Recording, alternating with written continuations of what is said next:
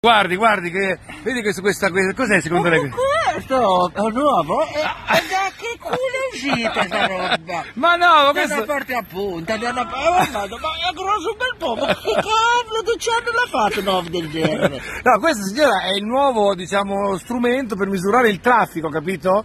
Questo qua, Sta navicella? cioè, questo va in alto, praticamente, e da qui viene, viene, viene rilevato tutto quanto il traffico. Come fa? Vedi, si gira verso di noi, Eh, verso di noi, c'è il grande occhio, c'è un grande occhio qua, Eh, occhio. che ci osserva. Adesso è una cipolla più un uomo. eh. cambia, cambia così, e dice quante, quante, quante sono le macchine che girano per Fano, E invece capito? prende quelle, basta mettere fermi al semaforo le conti, fai presto. Eh. Bravi, Ma no, complimenti. Ma cosa c'entra? Lei come va dal semaforo a contare tutte le macchine, anche di tutte le città di Fano? E io ho il buccio della porchetta al semaforo. E cosa fa? E io mentre prima di vendere la porchetta conti. E dove li macchine- segna le macchine che passano? Su- Sulla porchetta, eh. Tu vieni a vedere la cottica, è tutto un segno. allora vabbè, consigliamo ai prossimi comuni di tutta Italia di non utilizzare questo sistema ormai Eh, vecchio. mettete- ma la- Mai il buzzo con la porchetta, quindi vi consigliamo, cari sindaci d'Italia, usate il buzzo con la porchetta della signora Rosa che funziona. Quanto costa la porchetta, signora?